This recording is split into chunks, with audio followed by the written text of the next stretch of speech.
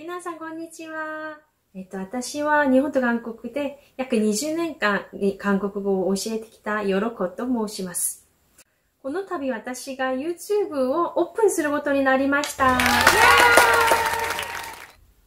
では、このチャンネルでこれから私が何を紹介するのか具体的に一つ一つご紹介したいと思います。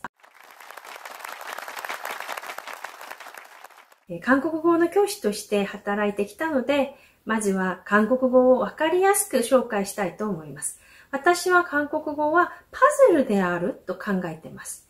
パズルはパズルの仕組み、そして原理、それを分かれば、どういうふうに組み合わせることができるのかを、あそれが分かれば、誰でもパズルを組み合わせることができます。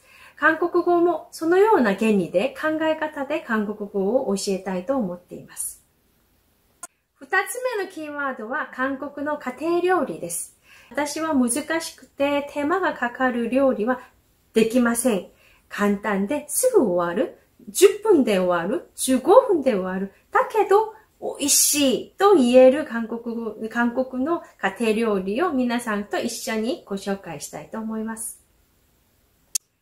では、三つ目は、すでに皆さんに知られて、皆さんが知っている有名な場所ではなくて、現地の韓国人が楽しんでるところ、他には知らないけど、韓国人だけで楽しんでいる、味わっているところなどを皆さんに実際に私が行って紹介したいと思っております。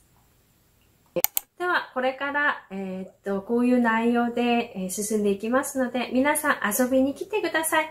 また、いらっしゃってくださ